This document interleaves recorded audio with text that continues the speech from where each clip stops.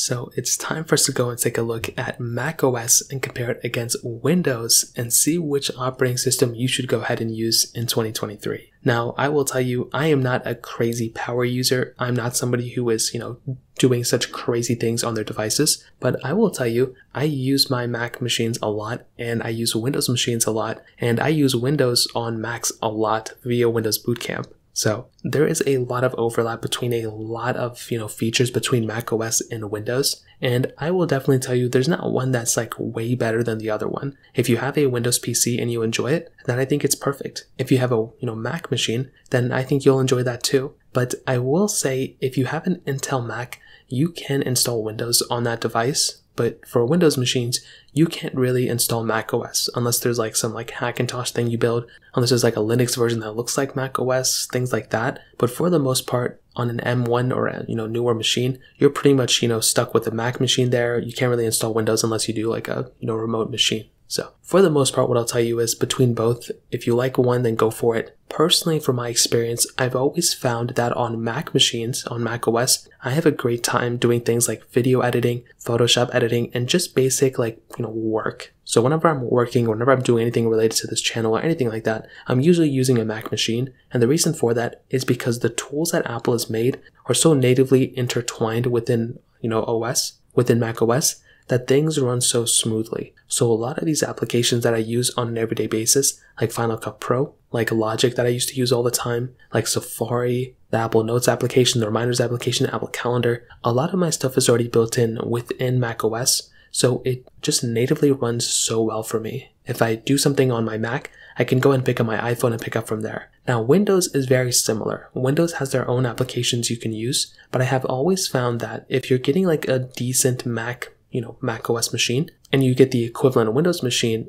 if you're using Apple's own applications for the most part, you are probably going to get a better performing machine for the most part from the Mac than on the Windows for, you know, the comparable, you know, for some applications. Now, with that being said, a Windows machine is, you can get them for much cheaper than you can for a Mac you can build out your own custom PC for um, that is more powerful than probably a Mac at the comparable value. And I will also say that there's a lot more flexibility in that price tag. You can build out your own machine on a Windows PC. Now, for comparing software, that's different, but that hardware that's behind it, you do have the ability of kind of, you know, changing things out here and there. And I will also add that a lot of like Windows laptops and Windows PCs, they definitely take more chances on their designs, which is very interesting. So of course we're talking about the operating system here, but it is a really nice thing when you're getting a machine that you didn't have to spend a crazy amount on and you are still getting very, very good power for sure. So that's a little bit of the hardware behind them.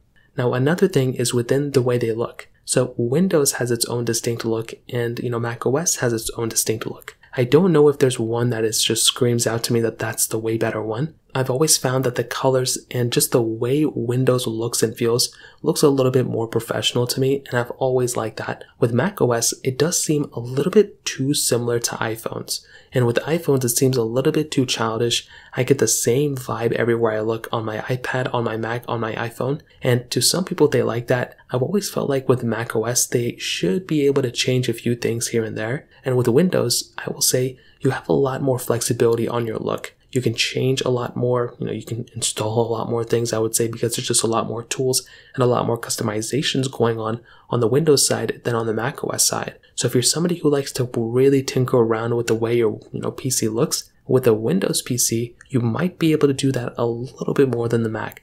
Now, of course, you can change your accent color, you can change where your dock is placed, and so many other things like the colors and dark mode and all that within Mac but I still think with Windows you may have a little bit more of an edge there, which has always been something I like. Now the smoothness and the fluidity is really going to be based on basically how good of a PC that you have. Personally for me, if you're comparing an M1 Pro MacBook you know, Pro to the comparable probably a the Dell laptops that they have, whichever laptop is comparable in that price tag, you're probably going to be getting similar type of experience in the smoothness factor. So Windows isn't like, you know, it used to have this reputation, I think, of being like a bulky operating system. I think now things are kind of evened out. And of course, with the Windows 11 coming out, there have been a lot of things that, you know, can go wrong sometimes. But I think Windows has done a great job at kind of, you know, keeping things more stable. And I think that's another thing that kind of keeps in mind there too. Now with software updates, both of these operating systems gets get updated all of the time. So there's updates all the time for Macs, there's updates all the time for Windows. And the cool thing about Windows, I think, is that there are more devices that can support Windows 11 than there are that support Mac OS, you know, the latest one. So I think for the device list, you're definitely getting way more devices that support something like Windows 11 than on the latest version of Mac OS. Now, one of the most important things that I noticed that I probably switched to Windows more so than on Macs is with gaming. So there's games available for Macs. I love gaming on it, you know, it's fine. But with your Windows operating system, you have so many more games available that just aren't available for Mac. And for a majority of games that are coming out, that have already came out, especially emulators, they we always have to wait so long on our Mac machines, and this is a very annoying thing. I just wish that you know it was a lot easier for you know games to be ported on for both devices. Nowadays, it is a little bit easier. We've gotten a lot more games and a lot more emulators supported on our Macs, so that is really good. But that's like recent development, the last like six months. For the last like six years, five, seven years, whatever, since Macs have been kind of powerful, we've Windows has gotten such a head start. There are so many games available on something like Windows, and that is something that just always, you know, even Valorant's still not available on Macs. Like it makes no sense. But even on top of that, with something like these, you know, third-party emulators, the thing is, is that these are developers that aren't massive teams. It's usually just a couple people making a certain application, and there's just not that many resources to port a game like this over to Mac. So a lot of the times there's any third-party development going on, it usually starts with a Windows PC. So that means not only now in the past games that are made, but in the future the next time a massive game comes out or a massive emulator comes out, it's probably not going to be available on Mac first. It's going to be available on Windows first. And the other thing that is, you know, kind of on top of that is that we have to wait a long time before something like that is ported over to our Macs, you know, in general. And then we have to wait an even longer time for updates. We're seeing this right now with Ryujinx, and it's kind of an annoying thing.